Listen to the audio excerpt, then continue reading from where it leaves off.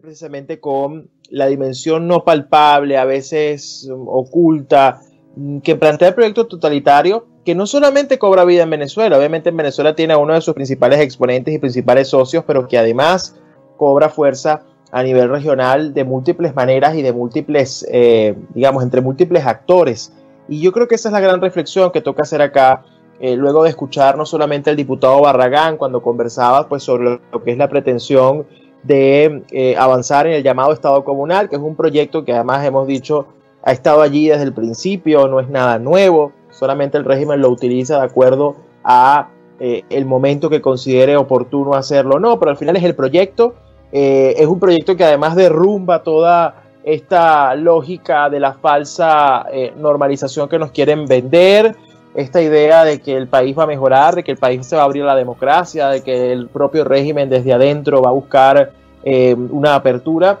Todo eso se cae cuando vemos cosas como estas y cuando vemos intenciones como estas y sobre todo cuando vemos a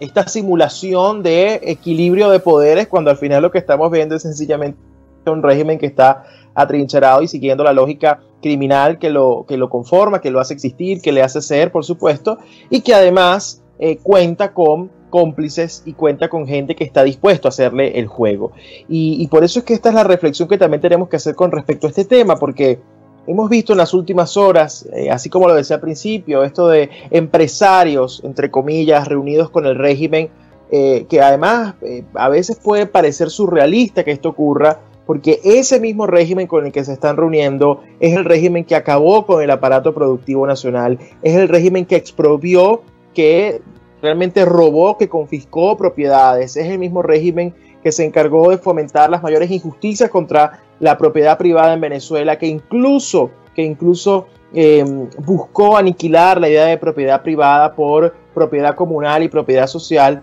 Y ese mismo régimen es hoy el que está siendo recibido por estos eh, falsos empresarios, por esta empresarialidad, entre comillas, que pretende entonces ahora eh, abrirle los brazos al mismo régimen que los destruyó, creyendo, creyendo que ahora el régimen no lo va a volver a hacer. Y lamentablemente el no, no comprender esto nos coloca en, situaciones eh, absolutamente contradictorias como dirigencia, como oposición, como sociedad, porque al final la gente lo que está buscando es, señal, es una señal clara, una señal coherente de lo que hay que hacer, pero no que le digan que la solución es cohabitar con el régimen que nos destruyó. Y eso es lo que muchos sectores están haciendo. Lo hemos visto en la universidad cuando felizmente le aceptan dádivas y migajas al régimen eh, supuestamente porque ahora el régimen está interesado en una supuesta amplitud de la universidad, pero estamos viendo cómo al mismo tiempo están reformando la asignación de cupos y todo lo que es el sistema, lo que ellos llaman carreras prioritarias. Entonces, em, creer, y esto siempre es algo que,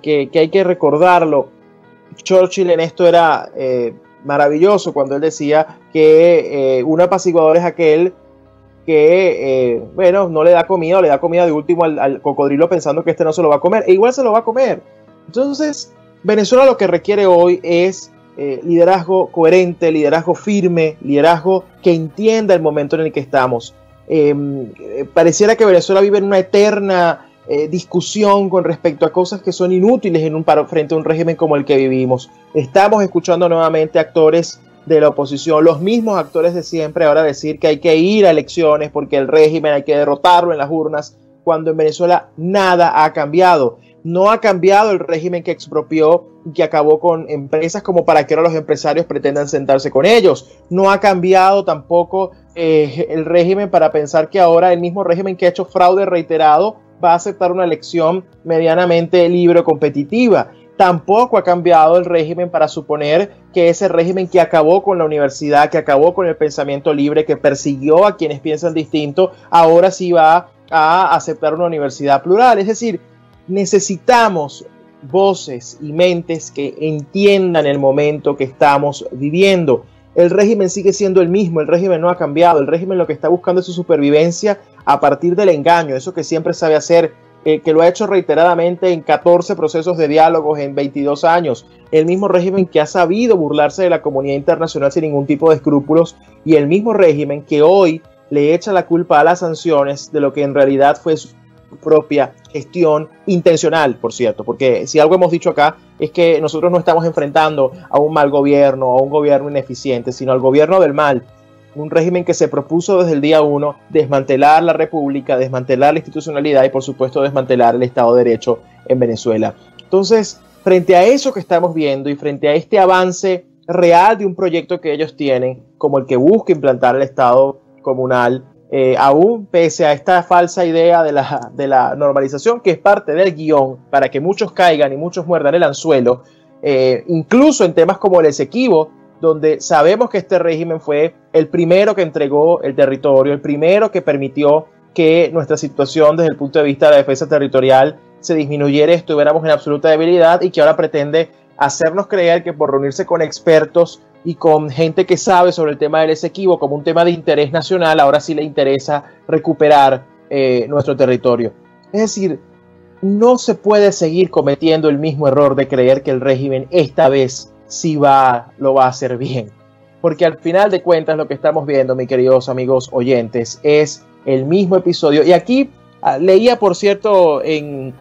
en redes ahorita hace unos minutos que algunos decían, bueno, pero es que es mejor un acuerdo imperfecto antes que un conflicto prolongado. Y muchos se olvidan que el acuerdo imperfecto, al final de cuentas, se traduce en prolongación de conflicto. Porque lo que no se puede aceptar en Venezuela es volver a caer en el cuento de que si se dialoga y se llega a un acuerdo imperfecto, el régimen va a ceder. El régimen es un régimen criminal, lo hemos dicho, no opera bajo la lógica convencional de la política y por lo tanto, si estamos en un contexto de conflicto, en un contexto de guerra, hay que entender que estamos enfrentando. Mientras nos sigan conduciendo al mismo camino de las falsas elecciones, de los falsos diálogos y ahora de la normalización, que es la normalización de la muerte, para la estabilidad política del régimen, pues lamentablemente Venezuela entonces sucumbirá definitivamente como república y como nación. Así que...